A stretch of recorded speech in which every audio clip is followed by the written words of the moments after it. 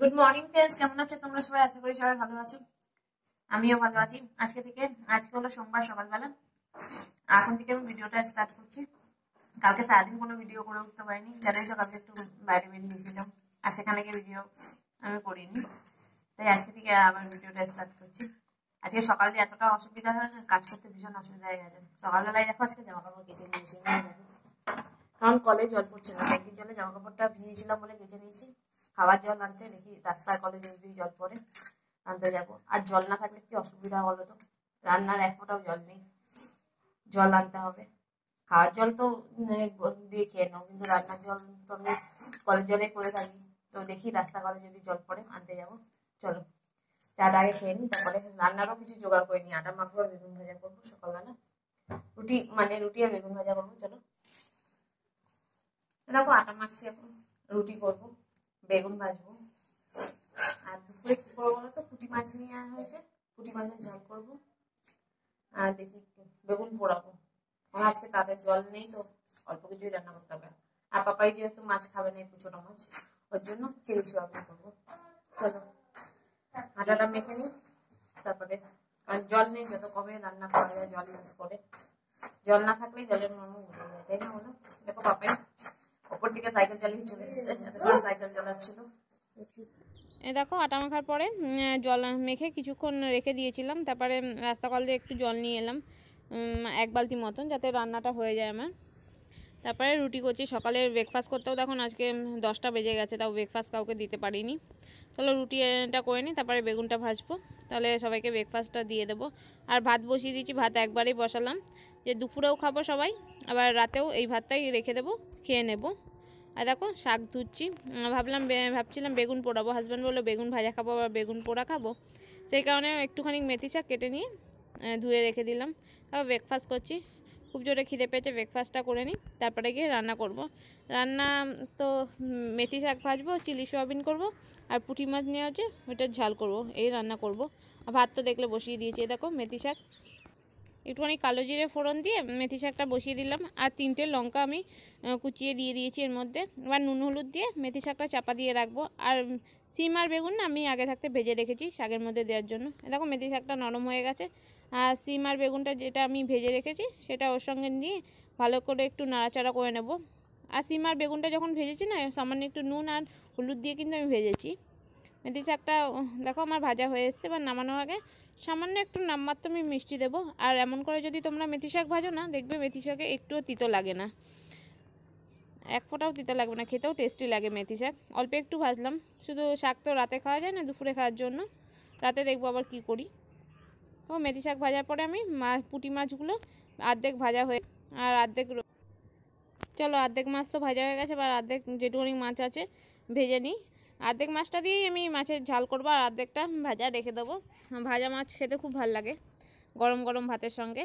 এই জন্য অনেকটা মাছ আছে তো, সেই জন্য অর্ধেক ভাজা রাখব অর্ধেক মাছের ঝাল করব। চলো দেখো মাছের ঝাল করার জন্য আমি একটু একটা বড় সাইজের আলু কুচি কুচি করে কেটে নিয়ে আলু ভাজার মতন ভেজে নিয়েছি, সেটাই আমি মাছের ঝালের মধ্যে দেব। চলো এবার তেলটা গরম হওয়ার পরে দেখো একটা তেজপাতা ফোড়ন দিয়ে দিয়েছি। আর দুটো ছোট ছোট পেঁয়াজ আমি ভেজে নিচ্ছি। আর একটু আদা কুচি দিচ্ছি।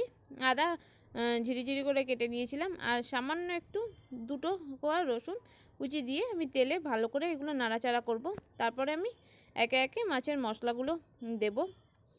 কী কী ডেলি যে মশলা আছে সেই মশলাগুলোই দেব। ধনে গুঁড়ো এক চামচ দেব। আর তার আগে আমি টমেটোটা দিয়ে নিচ্ছি। দুটো টমেটো। মিডিয়াম সাইজে যেটা আমি কুচি কুচি করে কেটে রেখেছিলাম, সেটাও তেলের সঙ্গে আমি একটু ভালো করে নেড়ে নেব। দেখো পেঁয়াজ, টমেটো সবই একটু নরম হয়ে এসছে, এবার আমি ধনে গুঁড়ো, জিরে গুঁড়ো সব মশলা দেব। দেখো জিরে গুঁড়ো দিচ্ছি এক চামচ মতন, এক চামচই দিলাম। আর ধনে গুঁড়ো দেবো এক এক চামচে একটু বেশি দেবো আমি। এবার লঙ্কার গুঁড়ো একটুখানি দেবো, আর কাঁচা লঙ্কা গোটা আমি দিয়ে রেখে দেবো। দেখো, হলুদ দিলাম, পরিমাণ মতন হলুদ দেবো। দেখো লঙ্কার গুঁড়ো, হাফ চামচ দিচ্ছি আমি। আর দেব পরিমাণ মতন নুন দিয়ে এই মশলাগুলোকে ভালো করে আমি কষাবো যতক্ষণ না তেলগুলো আলাদা আলাদা হয়ে যাচ্ছে মশলার থেকে। সাইড দিয়ে দেখা, বোঝা যায় মশলা কষে গেলে। চলো এটা হয়ে গেলে এর মধ্যে আমি যে মাছটা ভেজে রেখেছি সেই মাছ আর আলু ভাজা দুটো একসঙ্গে দিয়ে ভালো করে এই মশলার সঙ্গে কষিয়ে নেব। কষানোর পরে তারপরে আমি জল দেবো। দেখো, মাছ, আলু একসঙ্গে আমি ভাজা দিয়ে মশলার সঙ্গে কষিয়ে নিয়ে তারপরে জল যেহেতু অল্পই দেবো আমি, যেহেতু মাছের ঝাল টাইপের করছি। দেখো, মাছের ঝালটা বসিয়ে দিয়েছি আর এদিকে ছেলের জন্য সোয়াবিন, চিলি সোয়াবিন করব বলে কর্নফ্লাওয়ার দিলাম, নুন দিলাম আর একটা ডিম দিচ্ছি। আর একটু সোয়া সস দেবো দিয়ে একসঙ্গে মেখে রেখে দেবো দশ মিনিট মতন। দশ মিনিট মতন যতক্ষণ আমার মাছের ঝালটা হচ্ছে ততক্ষণ আমি রেখে দেবো। তারপরে চিলি সোয়াবিনটা করব। আর চিলি সোয়াবিনে দেখো পেঁয়াজ কেটেছি একটা, আর রসুন কুচি, আদা কুচি। এ দেখো মাছের ঝাল হয়ে গেছে আমার। আর গরম, নামানোর আগে গরম মশলা দিয়ে দিচ্ছি। আর ধনে পাতা নেই। ধনে পাতা থাকলে আমি ধনে পাতা কুচিই ছড়াতাম। সেই জন্য গরম মশলা দিলাম। চলো এবার চিলি সোয়াবিনটা করব। তেল গরম হয়ে গেছে। এবার সোয়াবিনটা ভেজে নেব। দেখো সোয়াবিন চিলি সোয়াবিন না, আমি ক্যাপসিকাম দিচ্ছি না। কারণ ক্যাপসিকাম পাপাই বা আমাদের বাড়িতে তেমন, আমরা কেউ তেমন পছন্দ করি না। যেন ক্যাপসিকাম আনিও না। আর রাইস করলে ধরো আনলাম। তখন একটা হয়তো তখন অর্ধেক মতন দিই, ওই করে একটু খেয়ে নিই। নাহলে আমরা তেমন ক্যাপসিকাম খাই না। তাহলে এই দেখো আমার সোয়াবিনটা ভাজা ভাজা হয়ে এসছে। মানে বড়া টাইপের এবার চিলি সোয়াবিন করব। চলো এগুলো তুলে নিই তারপরে। দেখো ভালো করে ভাজা, ভেজে নিয়েছি আমি সোয়াবিনগুলোকে। ছাকা তেলেই ভেজে, ভাজলাম। কারণ ছাকা তেলে না ভাজলে না ডিম থাক রয়েছিলো তো, সেই কারণে আমি একটু বেশি তেল দিয়ে ভেজে নিলাম। এবার এই তেলের মধ্যেই দেখো একটা পেঁয়াজ নিয়েছি, সেটা আমি ভাজবো। পেঁয়াজগুলোর সঙ্গে দু কোয়া রসুন, যেটা কুচি কুচি করে রেখে দিয়েছি, আর আদা কুচি, তিনটে একসঙ্গে দিয়ে ভালো করে নাড়াচাড়া করব। এগুলো না, একটু নরম হয়ে গেলে তখন আমি টমেটোটা, একটা বড় সাইজের টমেটো আমি কেটে রেখেছি, সেটাও এর মধ্যে দিয়ে নাড়াচাড়া করব। এগুলো ভাজা একটু হয়ে এলে তারপরে আমি এর মধ্যে টমেটো সস সবার ফার্স্টে আমি টমেটো সস দেবো। দু চামচ মতন টমেটো সস দেবো, এক চামচ চিলি সস আর সয়া সস দেবো হাফ চামচ দেখো এটাকে ভালো করে এই মশলাটাকে এবার আমি একটু কষাবো। তারপরে কি আমি যে সয়াবিনটা ভেজে রেখেছি সেটা এর সঙ্গে মিক্স করব। দেখো চিলি সস দিচ্ছি, এক চামচ মতন আমি চিলি সস দিচ্ছি। আর সোয়া সস দেখলেই তো হাফ চামচ মতন দিলাম। ব্যাস, এটাকে ভালো করে দেখো, কষাচ্ছি। এবার ওই সয়াবিন যেগুলো আমি ভেজে রেখেছি, সেগুলো দিয়ে আর একটু কষাবো। আর আমি নুন খুব সামান্য দিচ্ছি, কারণ সোয়া সসে একটু নুন থাকে। সেই কারণে আমি অল্প পরিমাণে নুন দিলাম। দেখো, সয়াবিন দিয়ে দিচ্ছি। এবার একটু নাড়াচড়া করে জল দিয়ে দেবো। জল দিয়ে একটু ফুটে উঠলে না দেখো, আমার চিলি সয়াবিন হয়ে গেছে। আমি হাফ চামচ মতন কর্নফ্লাওয়ার গুলে রেখেছিলাম জলে, সেটা দিয়ে দিলাম। ব্যাস রেডি আমার চিলি সয়াবিন। দেখো লঙ্কাগুলো বেছে নিচ্ছি, রান্নাঘরে সব কাজ পড়ে রয়েছে, ভাবলাম লঙ্কাগুলো বেছে নিই, তারপরে বাকি সব কাজ করব। চলো লাঞ্চে কি কি বানিয়েছি তোমাদের সঙ্গে শেয়ার করছি। দেখো ভাত, ডাল, মাছ ভাজা, শাক ভাজা, মেথি শাক ভাজা, চিলি সোয়াবিন আর পুঁটি মাছের ঝাল। ব্যাস, এই লাঞ্চের রেসিপি আমাদের। দেখো সব রান্না কমপ্লিট হয়ে গেছে, এখন একটু বসলাম, তারপরে গিয়ে রান্নাঘর পরিষ্কার করব। বাসন এক গাদা বেশি নিয়ে জমা সেগুলো পরিষ্কার করব, গ্যাস পরিষ্কার করব, রান্নাঘর পুরো ছড়ানো। আর আজকে কলের জল আসছে না। ট্যাঙ্কির জলে সব কাজ করতে আর ট্যাঙ্কির জল বড় একদম। হাত দিচ্ছি আর হাতটা একদম শিউরে উঠছে। কি করব? কাজ তো করতেই হবে। আর এই দেখো এখানটায়। পরশু দিন মাছ ভাজার সময় পরশু দিন না, তার শুক্রবার দিন মাছ ভাজছিলাম। তখন এই জায়গাটায় তেল ছিটে লেগেছে আর দাগ হয়ে গেছে। কি করব? আর কলে তো জল নেই।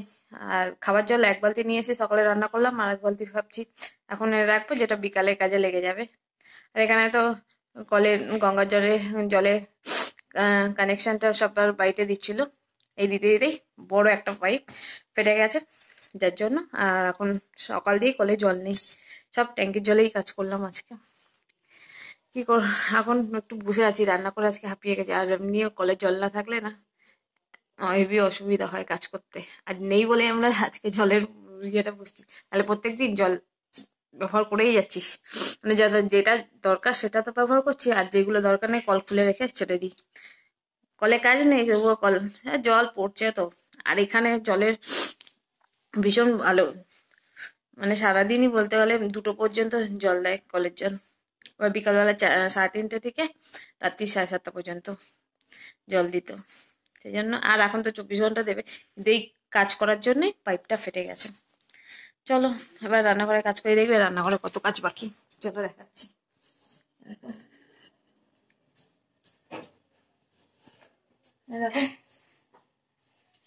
আজকে পাশে রান্না করিনি, কারণ হাঁড়ির মধ্যে খাবার জল রয়েছে, এই দেখো। এই জলটা দিয়ে রান্না করছিলাম। এই হাঁড়িটার উপরে স্ট্যান্ড রেখে আমি রান্না শেয়ার করি। সেই জন্য আজকে এখানে আর রান্না করিনি, এইখানে রান্না করেছি। আর বেশি না, দেখো, এই দেখো। ডাল অল্প একটু করেছি। পাপাই খাবে সেই কারণে। পাপাই মাছ ভাজা এগুলো দিয়ে খাবে। চিলি সোবিন করেছি।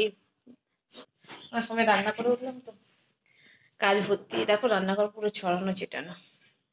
খাবারগুলো গরম বলে আমি খুলে রেখে দিয়েছি। ঢাকবো এবার। চলো ভিডিওটা আমি আজকে বেশি লম্বা করছি না। এখানেই শেষ করছি। তোমাদের যদি আমার এই ভিডিওটা ভালো লেগে থাকে লাইক শেয়ার কমেন্ট করো। আর আমার চ্যানেলকে প্লিজ সাবস্ক্রাইব করো। Bye bye